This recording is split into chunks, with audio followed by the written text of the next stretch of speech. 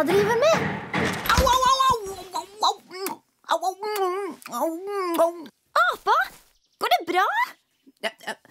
Hei! Ja, kjempebra! Hva er det du har der, apa? Dette, det er Sparks nye forbedrede sirene.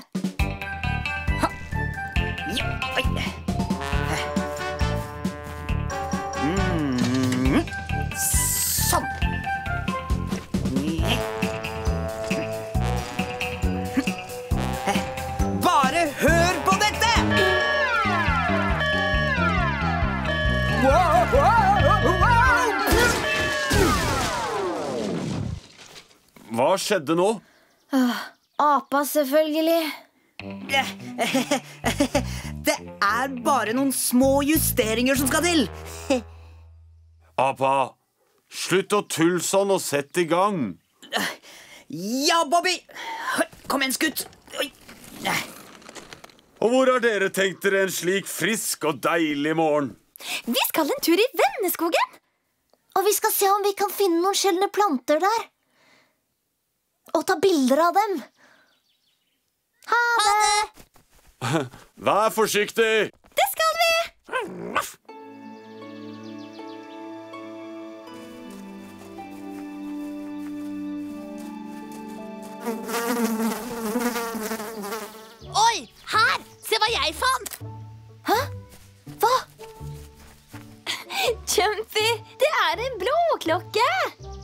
er omtrent like sjeldne som fluer rundt et saftglass.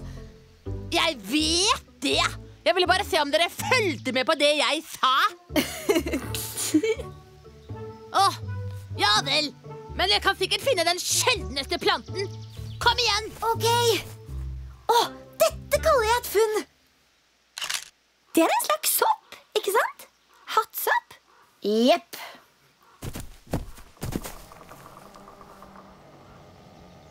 Begynner det ikke snart å bli litt grann mørkt? Oi, se på klokka. Vi må komme oss hjem. Eh, Hvor er veien hjem? Uh, kanskje det er den veien?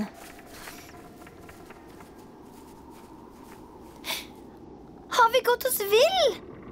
Gått oss vill? Ah! Vi har gått oss vill i venneskogen! Og, og, ah! Blir sliten av å være oppfinner.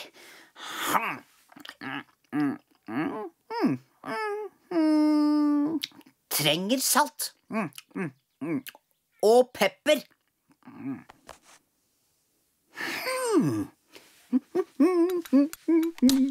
Au! Æsj!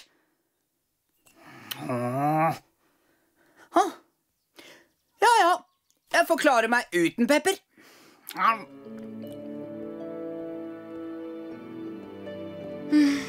De burde vært hjemme nå. Jeg håper det ikke har skjedd noe. Ta det med ro. De er fornuftige barn. De kommer hjem snart. Hei. Å, hallo, Tonje. Dere virker jo glade for å se en av deres beste kunder. Åh, Beklager, Tonje. Det er litt, vi er litt redde for Morten og Mia. De dro for å se etter blomster i venneskogen. Jeg vet det. Jeg møtte dem på veien. Og de har ikke kommet hjem ennå? Hm. Bare ta det med ro. Timba og jeg finner dem nok snart. Timba er en kjempebra sporhund. Å, Har dere en av genserne deres? Eller en sokk eller noe sånt, så Timba kan kjenne lukten?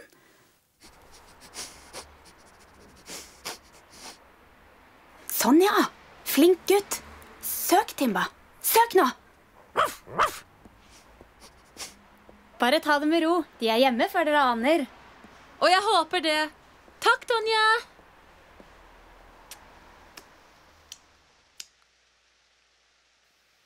Åh, det var verdens beste sandwich! Hæ? Det høres ut som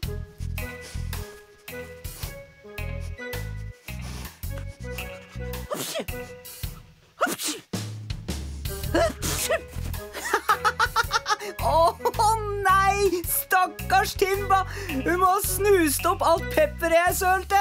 Har du sølt pepper? Men hvorfor det?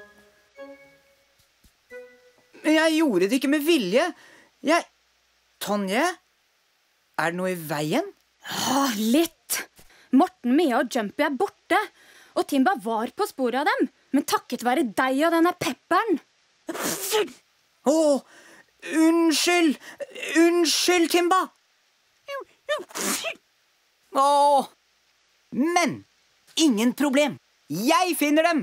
Jeg går og henter Koptus, og så drar vi ut og leter etter dem i skogen. Åh, Og vi tar Poltus.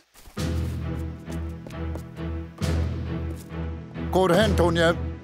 Venneskogen. Vi må finne noen barn som har gått seg vill.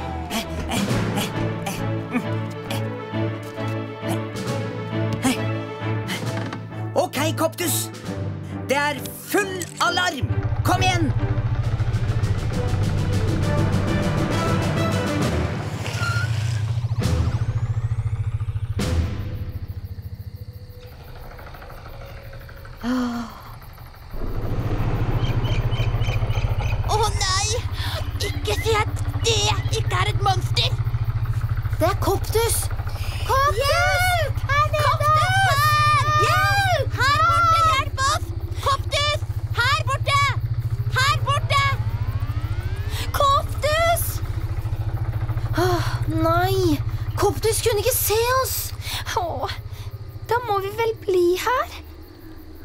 Vent litt.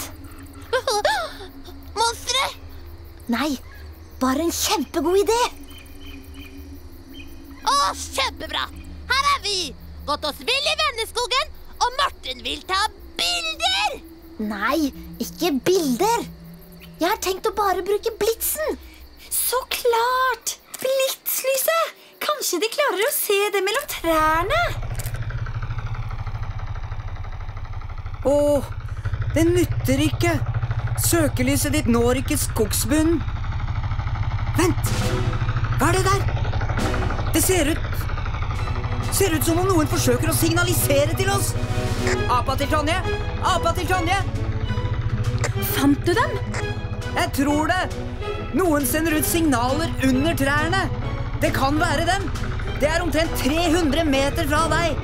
Retning 7 grader nord-nordvest. Oppfattet. Ah, det hjalp jo ikke stort.